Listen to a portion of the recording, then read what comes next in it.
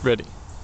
Hi, my name is Matt Risinger with Risinger Homes and welcome to my video blog on green building and building science. I wanted to show you a house that my company built about two years ago. Barley and Pfeiffer Architects was the architecture uh, firm that uh, designed this house and boy they did a great job on this home in terms of orienting this house for the sun, the uh, intense heat we get here in Texas. You can see all these windows on the side of the house all have canopies on them they shade the inside during the uh, day, but still let plenty of daylight in.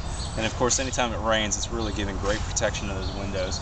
This deep front porch here, fully shading those front windows and giving a great shady spot even on a hot day. And then that front dormer window you can even see here at noon is fully protected. Those windows are fully protected from the sun's rays. And of course, a, a Galvalume metal roof, which is my favorite roof for this climate, really reflects that light back. It's probably pretty, uh, pretty bright on this video and that roof should last 50 plus years, take a hailstorm no problem. What a great design for this climate.